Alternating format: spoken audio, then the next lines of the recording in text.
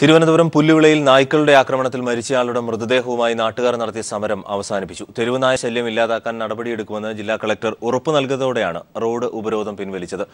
കടൽ തീരത്തെ മാലിന്യം നീക്കാൻ നടപടിയെടുക്കുമെന്നും കളക്ടർ പറഞ്ഞു. മത്സ്യത്തൊഴിലാളിയായ ജോസ്ക്ലിനാണ് പുല്ലുവിളയിൽ തെരുവ് നായ്ക്കളുടെ ആക്രമണത്തിൽ മരിച്ചത്.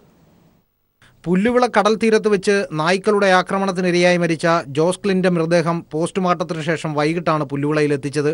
മൃതദേഹം റോഡിൽ വെച്ച് നാട്ടുകാർ രാവിലെ മുതൽ ആരംഭിച്ച ഉപരോധം തുടരുകയായിരുന്നു.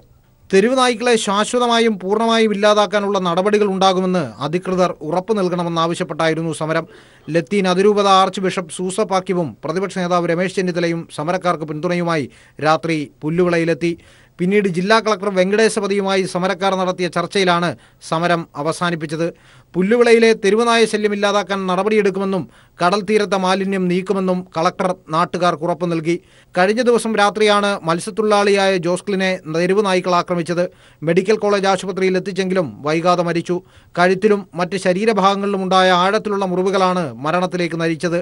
കഴിഞ്ഞ വർഷം ഓഗസ്റ്റിൽ അമ്മ എന്ന വൃദ്ധ ഇതേ സ്ഥലത്ത് നായ്ക്കളുടെ ആക്രമണത്തിൽ കൊല്ലപ്പെട്ടിരുന്നു. News bureau Thiruvananthapuram.